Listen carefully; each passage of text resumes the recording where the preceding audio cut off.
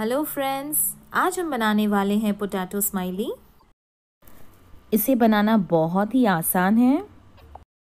ये बहुत ही जल्दी बन जाता है और खाने में भी बहुत अच्छा लगता है। आज हम इसे बनाएँगे विदाउट अनियन एंड गार्लिक इस वीडियो को अंत तक देखें। हमारे चैनल को सब्सक्राइब करें।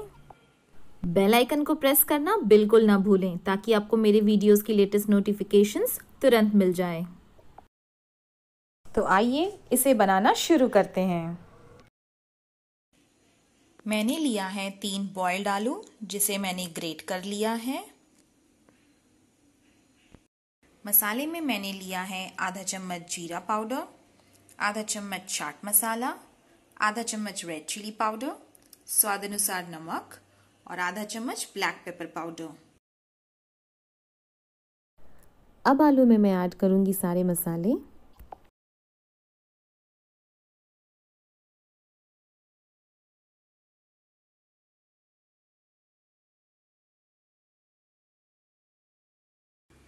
अब इसमें मैं ऐड करूँगी दो चम्मच कॉर्नफ्लोर। ब्रेड क्रम्स बनाने की रेसिपी का लिंक मैंने डिस्क्रिप्शन बॉक्स में शेयर कर दिया है। अब इसमें मैं ऐड करूँगी ब्रेड क्रम्स और इसे सान कर एक स्मूथ डो तैयार कर लेंगे।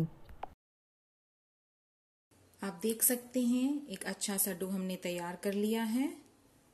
अब हमने इसे एक प्लेट पे रखा है इसे हम हल्के हाथों से इस तरह प्रेस करेंगे। हमने इसे अच्छी तरह से स्प्रेड कर लिया है। अब मैंने हाथों को थोड़ा ऑयल से ग्रीस कर लिया है।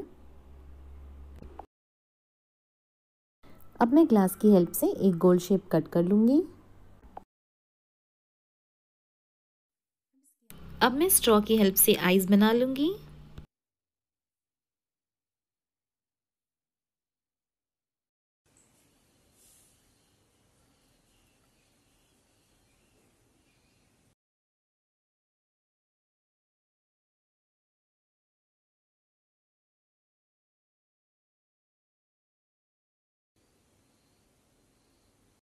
हमने स्माइलीज को बना लिया है।